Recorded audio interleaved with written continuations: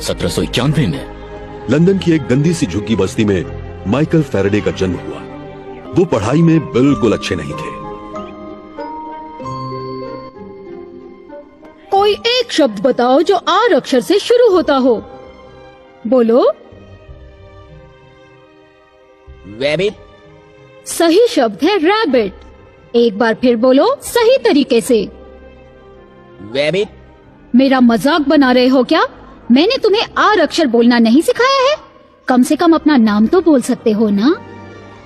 Michael फेवडे ma'am.